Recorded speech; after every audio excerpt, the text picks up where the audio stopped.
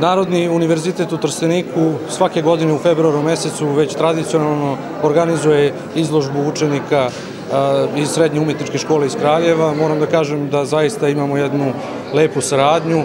Ovo je sedma izložba po redu. Oni su se ovde predstavili sada kroz različite umetničke discipline.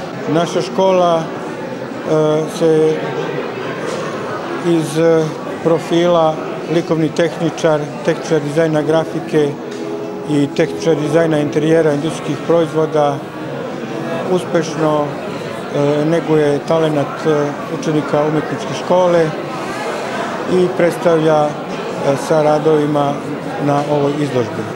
Radovi su zastupljeni iz svih umetničkih tehnika, od likovne grafike, studija po živom modelu, studija u slikarskim tehnikama i naravno malim formatima koji poseban šarm daju ovoj izložbi.